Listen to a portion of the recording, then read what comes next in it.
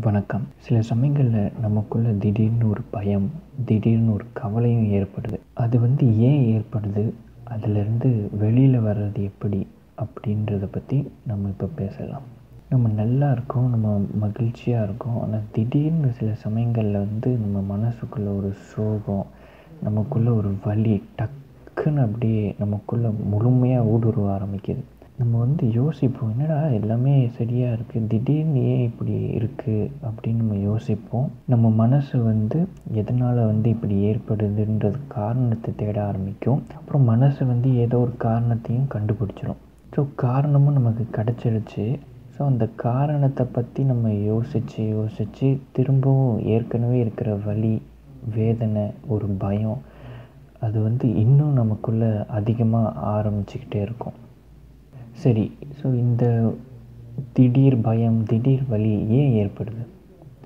நம்ம வந்து சின்ன வயசுலேருந்தே நமக்குள்ளே ஏகப்பட்ட ஆசைகள் ஏகப்பட்ட கனவுகளோடவே வாழ்ந்துக்கிட்டு இருக்கோம் சில சமயம் நம்ம எதிர்பார்த்தது நடக்குது சில சமயம் நம்ம எதிர்பார்த்தது நடக்கிறதில்ல. ஸோ அந்த நடக்காத விஷயங்கள் நமக்குள்ளே ஏற்பட்ட தோல்விகள் அதெல்லாம் வந்து நம்ம மனசுக்குள்ளேயே வந்து ஆழமாக பதிஞ்சு போய் கிடக்கு. நம்ம மனசுக்குள்ளே இருக்கிற அந்த வழியை வந்து நம்ம முழுமையாக எப்போவுமே வெளியில் எடுக்கிறது இல்லை நம்ம வந்து அந்த வலி எப்பப்பெல்லாம் வருதோ அதை வந்து நம்ம வந்து அதை நம்ம அமுக்கி வைக்கிறோம். ஸோ எப்படின்னா நம்ம வந்து நம்ம மனசை திசை திருப்புவோம். நம்ம வந்து டிவி பார்ப்போம் இல்லை மியூசிக் கேட்போம் இல்லை ஃப்ரெண்ட்ஸ் கிட்ட பேசுவோம் இல்லை படத்துக்கு போவோம். ஸோ ஏதாவது பண்ணிக்கிட்டே இருப்போம். அந்த கவலையிலேருந்து நம்ம திசை திருப்பிப்போம். ஆனால் வந்து நமக்குள்ளே இருக்கிற அந்த எண்ணங்கள் முழுமையாக நம்ம விட்டு வெளியில் வர விடுறதில்ல. ஸோ அதனால் வந்து அது நம்ம மனசுக்குள்ளேயே தேங்கி தேங்கி தேங்கி அது மனசில் ஒரு பகுதியில் இருந்துக்கிட்டு தான் இருக்குது ஸோ அவ்வப்போது அது வெளியில் வரும்.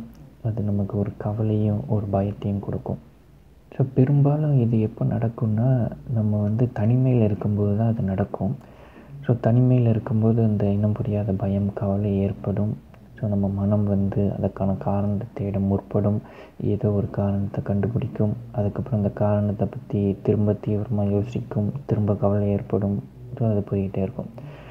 ஸோ தனிமையில் இருக்கும்போது மட்டும் தான் நடக்கணும்னு அவசியம் இல்லை. சந்தோஷமாக யார் கூடயா பேசிக்கிட்டு இருக்கும்போது டக்குன்னு வந்து இது நடக்கும். ஸோ நாம் என்ன பண்ணுவோம் அப்படின்னா இந்த மாதிரி ஒரு காரணம் இல்லாத பயம் இனம் புரியாத கவலை ஏற்படும்போது நான் சொன்னபடி நம்ம மனசு ஏதாவது ஒரு காரணத்தை கண்டுபிடிக்கும். அந்த கண்டுபிடிச்ச காரணத்தை வந்து இப்போ மற்றவங்க கிட்ட நம்ம பேசுவோம்.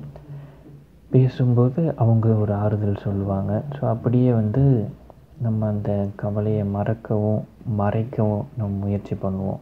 பட் என்னென்னா உண்மையிலே நம்ம என்ன பண்ணணும்னா வந்து அந்த வலியும் அந்த வேதனையும் நம்ம வந்து மறைக்கவோ இல்லை வந்து மனசுக்குள்ளே அமுக்கி வைக்கவோ கூடாது. ஸோ அப்படி பண்ணுறதுனால என்னென்னா நம்ம அதுலேருந்து விலகி ஓடி போய்கிட்டே இருக்கோம். ஸோ அது எப்பயுமே வந்து நேரம் கிடைக்கும்போது காலம் கிடைக்கும்போது நம்ம நமக்குள்ளே இருந்து வெளியில் வந்துக்கிட்டே தான் இருக்கும். ஸோ அது வந்து ஒரு முடிவே இல்லாத பிரச்சனையாக இருக்கும். நம்ம ஓட ஓட வந்து நம்ம வாழ்க்கை முழுக்க அதை நம்மளை துரத்திக்கிட்டே தான் இருக்கும். ஸோ இப்படி ஏற்படும் போது இப்போ மற்றவங்க கிட்ட பேசி ஆறுதல் தேட முற்படுறது இல்லை படத்துக்கு போகிறது இல்லை வந்து கதை எழுதுறது கவிதை எழுதுறது பாட்டு கேட்குறது அதெல்லாம் வந்து ஒரு டெம்பரரி சொல்யூஷன் தான். அதுக்கு நிச்சயமாக ஒரு நிரந்தர தீர்வே கிடையாது. அப்படின்னா நம்ம என்ன பண்ணணும்? ஸோ சில வருஷத்துக்கு முன்னாடி இப்படி எனக்கு ஏற்பட்ட போது நான் என்ன பண்ணேன் அப்படின்னு நான் சொல்கிறேன்